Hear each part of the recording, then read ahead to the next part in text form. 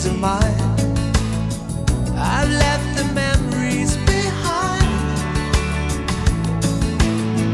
Wanna start a new life, but it seems to be rather absurd.